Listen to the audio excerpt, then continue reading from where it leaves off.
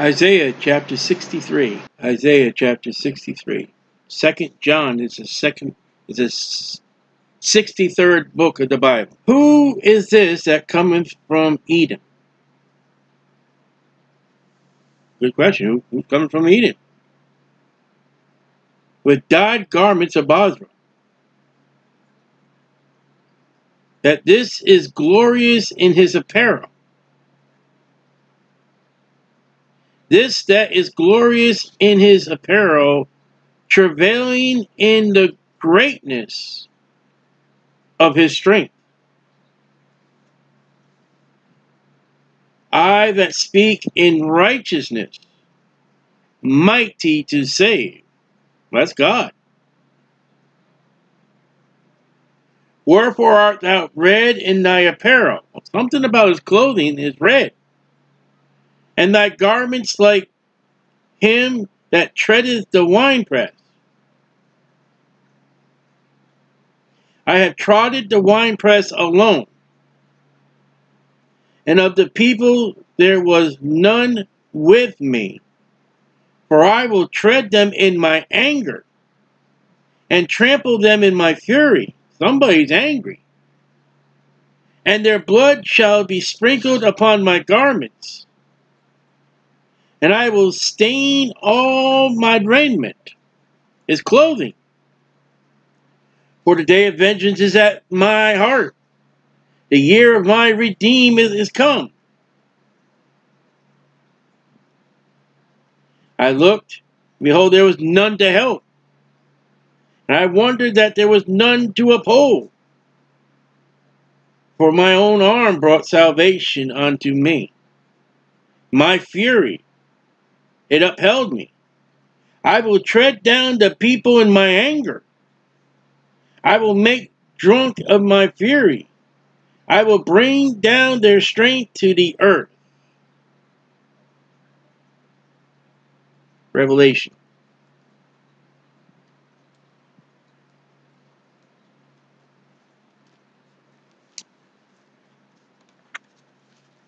Sounds mighty angry one. Wonder who this angry one can be.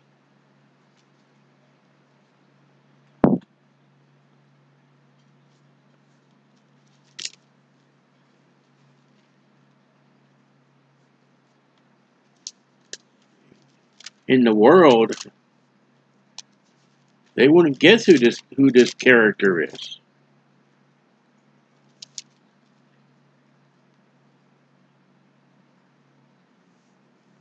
Revelation chapter 14, verse 19. And the angel thrust in the sickle into the earth and gathered the vine of the earth. You read about this in Matthew. And cast it into the great winepress of the wrath of God. Okay, that's correct, God. And the winepress was trodden without the city, Jerusalem. He's not in Jerusalem. Like where Jesus Christ was. Jesus Christ did not die in Jerusalem. The blood came out of the winepress, even unto the horses' bridles by the space of a thousand six hundred furlongs. Okay, we got God outside Jerusalem. Revelation chapter 19.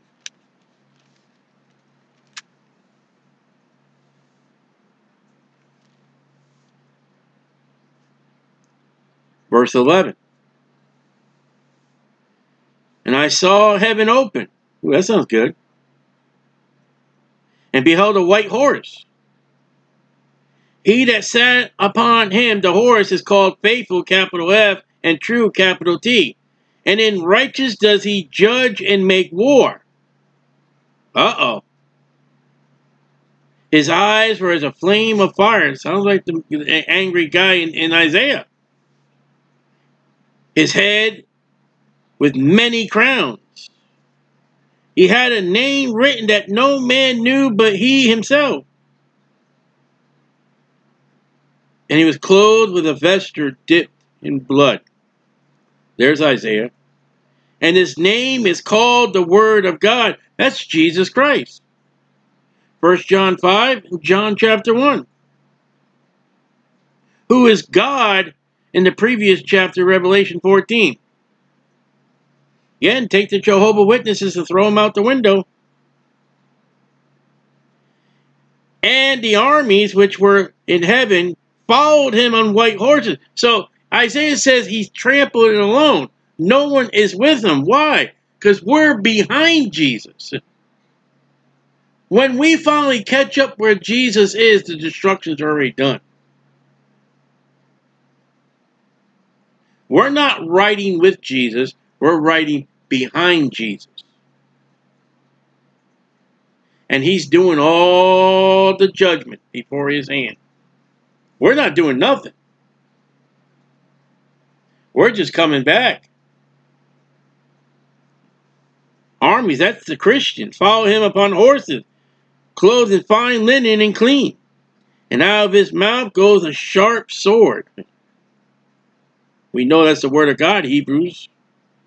And with it should smite the nations, goats, Matthew, and shall rule them with a rod of iron, out, and tread the winepress, there it is, of the fierceness of the wrath of the Almighty God, there it is. He has on his vesture and on his thigh a name written, King of Kings and Lord of Lords. There it is. Look at Revelation chapter 17, verse 14. And shall make war with the Lamb, capital L. That's the Lamb of God, take away the sin of the world. And the Lamb, capital shall overcome them, and he is Lord of lords and King of kings. There it is. There's no doubt who we're looking at in Isaiah. I'm going to make a bold statement in a moment, but let me check one more reference. Uh, let's see. Let check this reference before we go there. I got so many references in my Bible.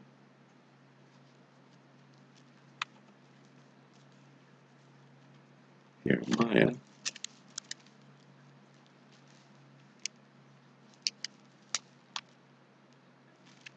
Jeremiah 25.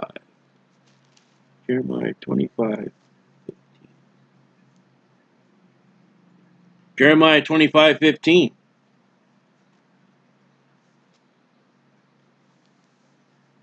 I don't think we're going to finish this chapter tonight. Jeremiah 25, 15. For thus saith the Lord God of Israel. you better have the God of Israel. Take the wine cup of fury at my hand, and cause the nations to whom I send it thee to drink. And you read all the way down to verse 38.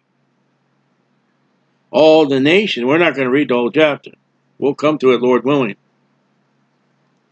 Well, that's the second advent, of the Lord Jesus Christ. That's what we're reading about uh, Isaiah chapter 63.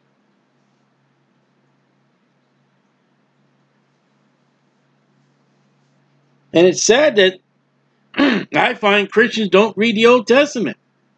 I read the book of Revelation. Well, Revelation is written of many parts of all the 65 books of the other parts of the Bible. Without the 65 other books of the Bible, you really wouldn't have an understanding of the book of Revelation. Daniel and the book of Revelation go hand in hand. Have you not seen in Isaiah, and as we go closer into Jeremiah, we're going to see the current conditions of the world, and we'll see that in Jeremiah. And then Judah gets the axe. Coming the day that's going to get the axe. And the Bible calls it the battle axe. The Antichrist. I believe that's Sennacherib who's a type of Antichrist. But we don't study the Old Testament. And when we do, we go through it, you know, racing through a, a race like, you know, it's one of these stock car races. Okay, we did another chapter. See you next week for the next chapter. And you don't get fed. So that whole thing is about Jesus Christ in the second advent, and we ran the references. Pardon me. I run the references so you see the truth. I will mention the loving kindness of the Lord after reading verses 1 through 6.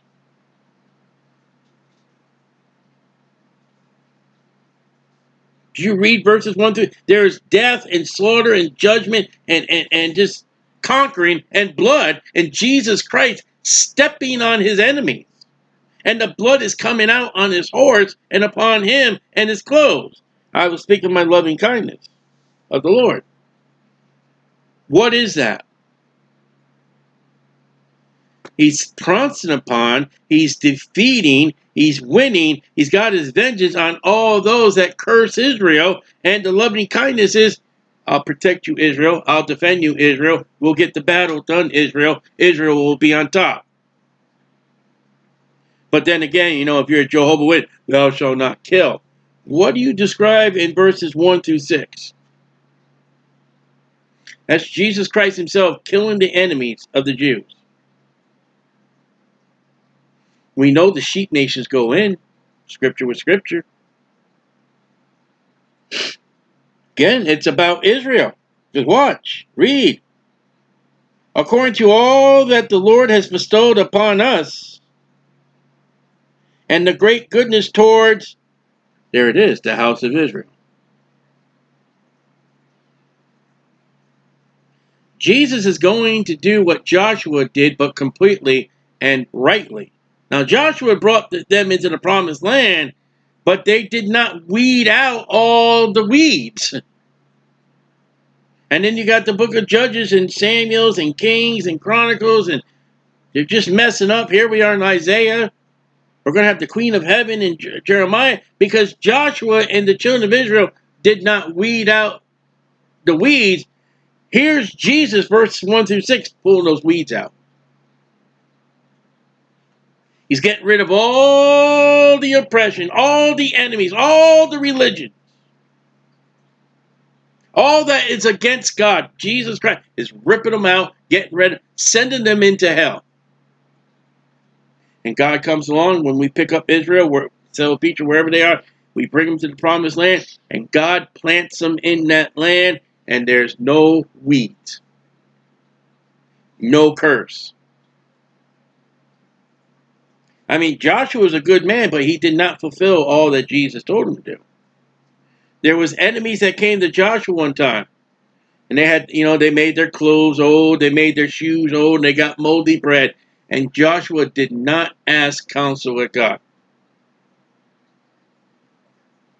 You know another thing is lacking, and it lacks in my life, when you read Bible characters? Many of the errors they make is because they don't ask God. Peter, not so, Lord. Don't, you're not going to wash my feet. Why didn't he just say, Jesus, why are you doing this?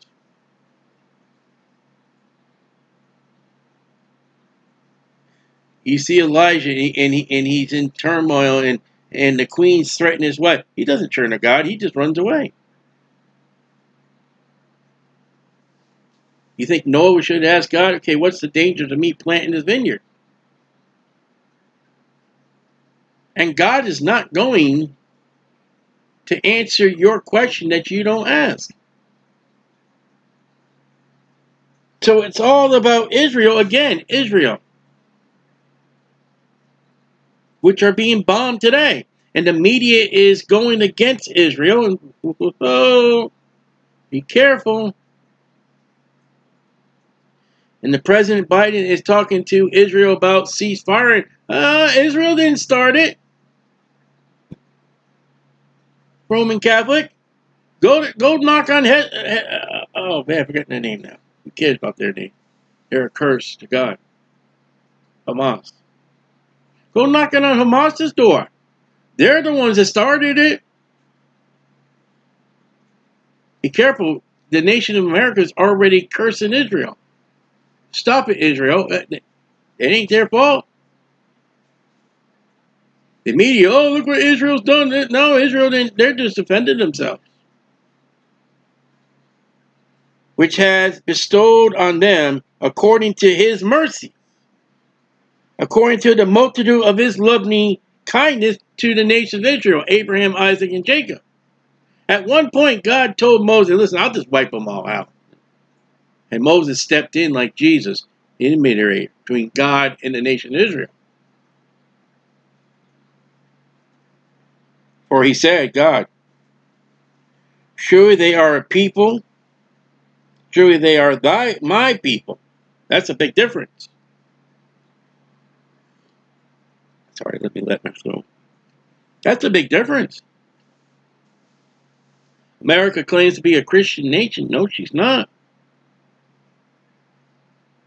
God speaking about Israel, they're my people. And there are people who say God's all done with Israel. Children that will not children that will not lie. Is that today?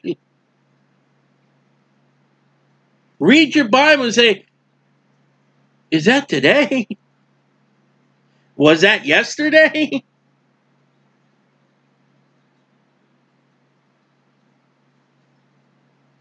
So he was their savior. Is that today? No, he's their savior after he comes in the second advent. When was Rahab saved? When Joshua sent the spies, they go get her. She could have died at any moment before Israel came in. The king could have found out and had her executed. And they the spies could have came in and went into that apartment and said, well, where is she? Well, they found out about you. And they executed her and the whole family. There had been no salvation. She would have been in hell. There was no salvation to Joshua, Jesus. Don't you mess with your King James Bible when it says Jesus brought them in because it's going to happen. In all their afflictions, he was, excuse me, afflicted. And the angel, now this is, we're going now into the history of, of Israel. History is being rewritten today. History is being changed because one group of people don't like it. And there are a group of people that the Bible says they're to be servants of servants. Servants of Japheth, the servants of Ham, and the servants of uh, uh, Shem. Like it or not. That's why a lot of their churches don't have the Bible. They got a political card. Because the political card will protect them. The Bible talks about servants and can't have that. The angel of his presence saved them. And throughout the time, Moses, God told Moses, I'm going to send my angel. The moment they sinned the sin, I believe it was the calf, God said, all right, uh, you know, I, I'm going to send an angel.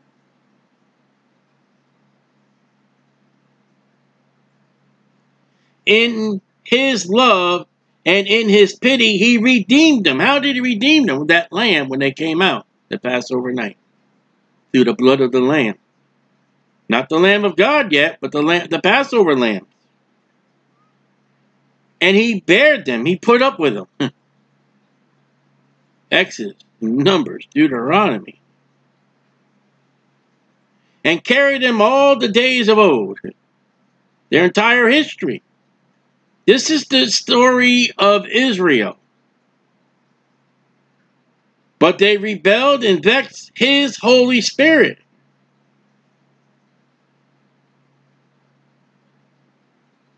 And they did. And the Bible and Paul records for unbelief. Therefore, he was turned to them their enemy multiple times. And he fought against them multiple times. They're, he's fighting against Israel today because they fought the Holy Spirit and say we don't want Jesus. We'll have we'll have uh, uh, uh, we'll take Caesar. His blood be upon us and our children. That was a very bold statement. As much as the last bold statement Israel made, whatever God says we will do. Remember that in Exodus 18 and 19? Really? You weren't told what the law is, and you said, we will do what the law says. Have they been doing what the law says? They lied. Right? Well, how can we just read a passage here? Shall they lie? That's got to be future. You know, I read in my Bible last night before I went to bed. In the place where God will name his name three times a year, the male shall go. They're not doing that today. They're not going to Jerusalem for the Passover. They're not bringing their offerings. They're not burning upon the brazen altar. Yet everything God said we will do. Really? You're lying. After Jesus comes, after God plants them, there won't be no more lies. Not yet. Pretty soon. Then he re he remembered the days of old. Moses, there he is, and his people, Israel, saying, Where is he that brought them out of the sea with the shepherd of his flock? Where is he that put his Holy Spirit within him? That's Moses and led them by the right hand of Moses. Wait a minute. Hold on. He remembered the days of old Moses and his people, Israel. When he, God, that brought them out of the sea, God brought them out of that sea, and the shepherd of his flock, where is he, God, that put his, God's Holy Spirit within him? that led them by the right hand of Moses. That's not Moses. That's the angel. And who is that angel? That angel is the same one as the rock. And who did Paul say that rock was? Jesus. Uh, I don't see Jesus in the Old Testament. Man, you got your eyes blind. When Jesus walked up to that Samaria woman, the half Jew, half Gentile, I'm the water of life. Uh, what other water was there to reference to? And that half-breed Jew, guess what she said? We're looking for the Messiah. Jesus said, I am the Messiah. Well, wait a minute. Let me go tell everybody in my hometown. The Jews didn't do that. Now, let me just ask you a question. See the smile? Did she ask those people in the village to come to church or did she bring them to Jesus?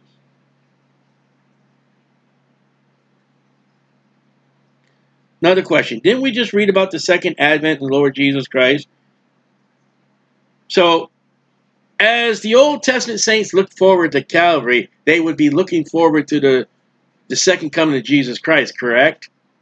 Right? Yeah? How come Revelation 19 says he has a name that no man knoweth? We just read the second advent, didn't we? And there's more about the second advent than there's about Calvary. So they should be looking forward to the second advent. They're not looking forward to the second advent. Just as much as they're looking forward to the Calvary. Again, they're looking for Calvary. When Jesus dies on Calvary, there's only one disciple there. Everybody else is gone. Even the women didn't know. Three days later, they're bringing spices for a dead body. Oh, yeah, they're really looking. You're going into the Bible with your eyes poked out. You're not even wearing blinded. You just, you, your eyeballs. You're rolling your eyes across the floor and not in the pages of the Bible.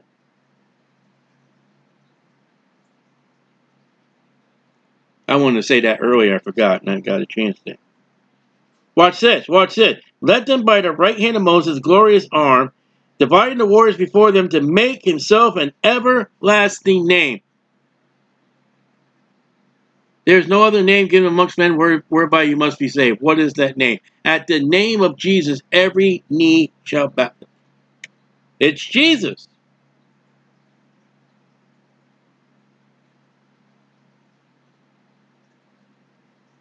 So when Jesus is tr transformed on the mountain, do you think Moses was a complete stranger to who Jesus was? No. Moses knew exact. Moses was in heaven with God the Father and God Jesus Christ.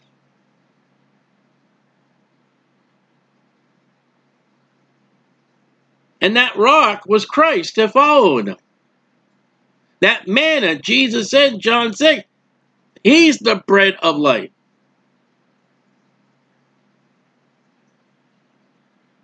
It's a shame that I don't read the Old Testament. That's a shame. You know, there's more books of the Old Testament than there are New Testament. And you know, majority of New Testament books are really primarily written to Hebrews. How many books did Paul write? Was it 12? I think. All right. That led them through the deep as a horse in the wilderness. As a horse? Uh, uh, what's that reference? Isn't Jesus going to be coming on a horse through the wilderness one day for Israel again? Literally? That they should not stumble. They stumbled all along the wilderness. No food, no water, earth opens up, fire, the fiery serpents. Oh, there's giants in land, we can't go in. But there's coming a time they won't stumble under Jesus who's on horseback with the church behind them. Israel is going to redo their route from Egypt to the promised land. None under Moses, none under Joshua, though they will be there under Jesus Christ. Exodus, Numbers, Deuteronomy, all that is going to happen again. And many Christians are going to be on the horses and they're going to be, huh? Wow, this is something new. No, it's not. I want to have any Christians get to heaven, absent from the body and present with the Lord, and freak out the moment they see Satan in heaven. I wonder how many Christians get upset when they get to heaven they find out that Fluffy and, and Kitty and all them are not in heaven anymore. Or never were. That there's a possibility that there are family members, there are family members in heaven that won't be there. But my preacher, my church, yeah. Uh-huh.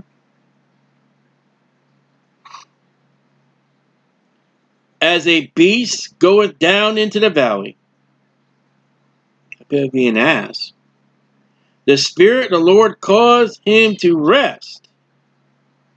So what do you read about Hebrews? There's a rest, rest, rest, rest, rest, rest.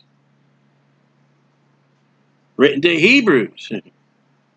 So thou lead thy people, Israel, Israel, not Americans, not the church, to make thyself a glorious name. Wait to the millennium. Now that was to be the object of Israel when they got into the promised land, that golden city, but it failed. It won't fail under Jesus. Look down from heaven and behold, from the habitation of thy holiness, heaven, glory, of thy glory, heaven, where thy zeal, excuse me, and thy strength, back to verse 1. Travailing the greatness of thy strength, there's Jesus. Verse 1 to 6 is all about Jesus. Verse 6, their strength that strength is Jesus. The sounding of thy bowels and of thy mercies towards me, are they restrained? Doubtless thou art our Father. God the Father. What did Jesus keep saying? My father, your father, but your father's of the devil. You're not following God. So Abraham being ignorant of us, Abraham had no idea with, of their ch children and all that. So there are some things when people die, they, they are not made aware of. And Israel acknowledged does not. Abraham didn't know about us. Israel didn't involve us. Thou Lord our Father. That's a bold statement. They can't claim that statement today. They're not, they are disobedient children. They are down in the pigsty, and pigs are unclean. You do know the parable of the sower is a Jewish story about a Jewish son. I know we use it for, for spiritualizing for a Christian, but it's Jewish. And that the father's waiting for the children to come back out of that pigsty,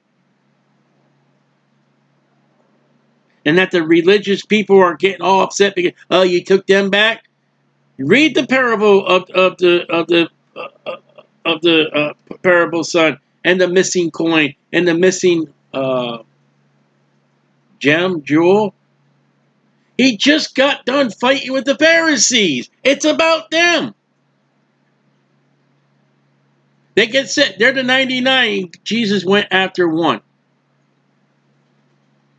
the sinner. He eats and drinks with sinners.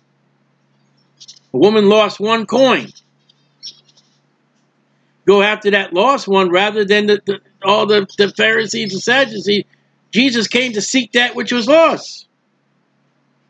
That man, he, he took his and went down and, and, and with the with the harlots, the whores, the sinners, the pigsty. And that one son sat out there angry and all upset. That was the Pharisees. Notice how the son is sitting outside the party. He's not in the party. He's in hell. Uh. Well, friend, if you're in hell, you're with the, the prostitutes and the rightly divide. Sometimes when we spiritualize and not teach these stories correctly, we do great damage.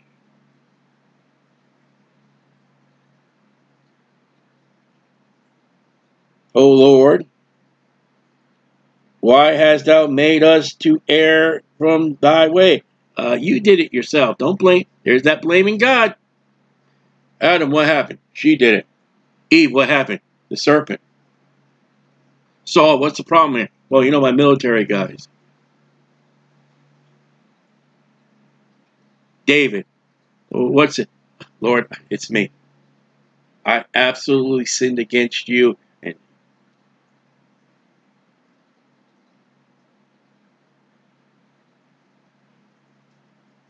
and hardens our heart from thy fear. My eyes are getting blurry, I apologize. They're blaming God. You know, they kept blaming. You know, uh, it's so funny. I, am going. I just went through numbers and all. I'm in Deuteronomy. It's so funny. The earth opens up, right? Swallows this one particular family and closes up without even a birth. And they have a nerve to go up to Moses there. You killed them. Like Moses opened the ground.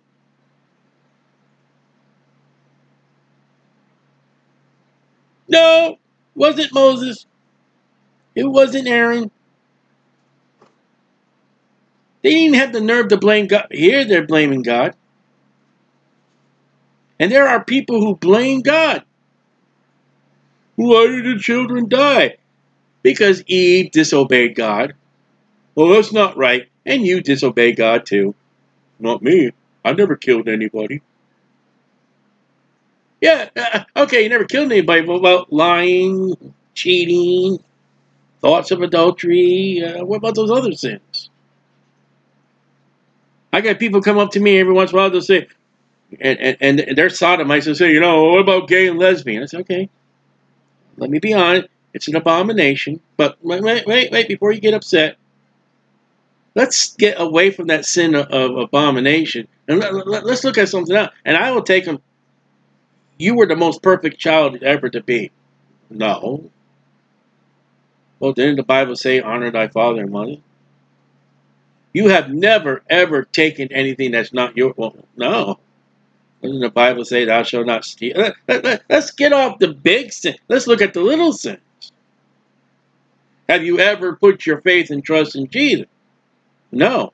The Bible says, believe on the Lord Jesus Christ and thou shalt be saved. You see, they come up to me, they want me to they want me to blast their sin. Their big, evil, wicked. They know it's a big, evil, wicked sin. And yet they did that with Jesus. Woman, Jesus, we caught this woman in adultery. we got him now.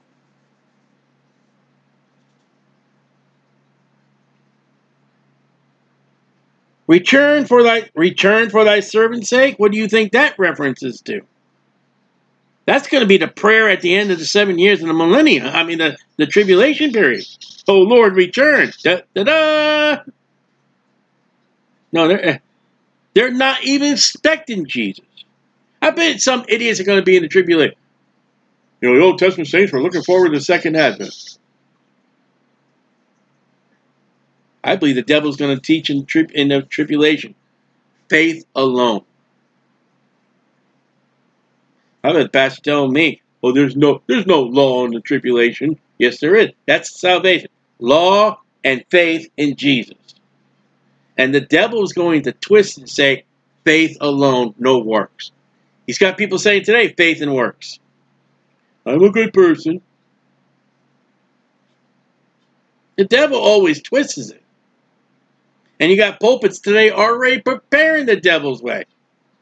If these people in church, the rapture, rapture happens and they don't go, well, you know what I heard the pastor say, it's not law, it's got to be faith alone.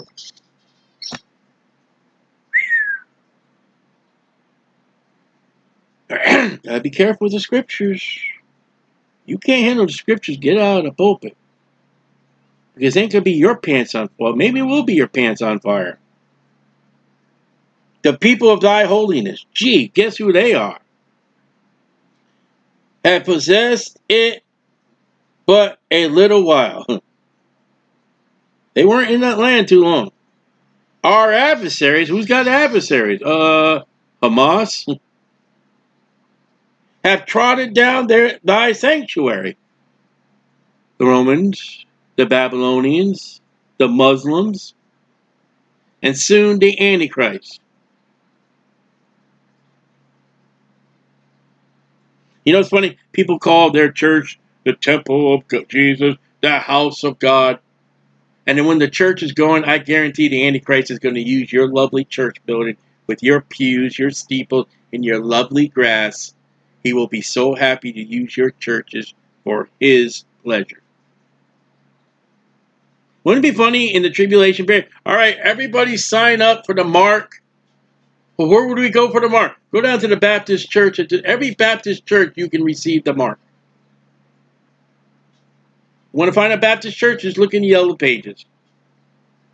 The mark of the beast will be at the Baptist churches. You want the mass, you go to the Catholic church.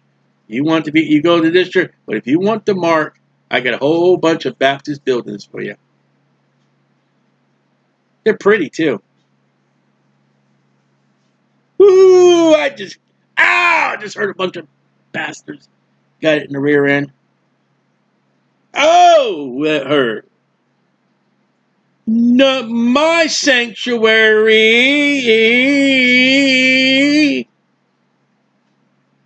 I got tr- I got in trouble one time in, in a church, their sanctuary, because one of their cliques who like to chew gum spit their gum out everywhere where they felt like it. I stepped in one of their gum balls one time and stepped into that, and I got gum on their brand new carpet. Ooh, I got gum in the sanctuary. And I got a lecture about it.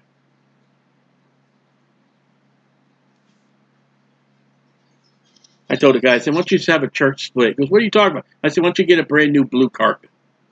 Half the people like it, and half the people won't like it. It's not a proper attitude. Well, why don't you go after the person that put the gumballs out there? No, no, no. I know. That was a rabbit trail. He's gone. I just shot the Easter Bunny. Oh, sorry. We are thine. Who can say that? Israel. Thou never bearest rule over them. That's a bold statement. They were not called by thy name. They will one day. You know how many times Israel and God's like, uh, please, no.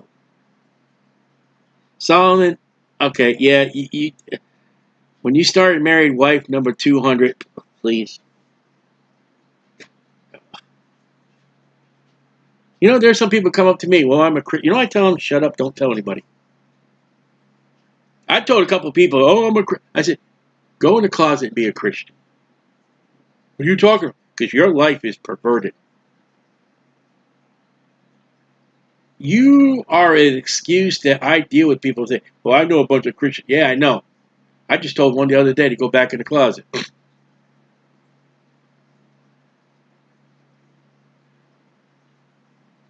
You're going to be a worldly, carnal Christian. Just, just don't tell anybody you're a Christian. Be a secret Christian until you clean up your life and repent and get right. Ooh, that's bad to say.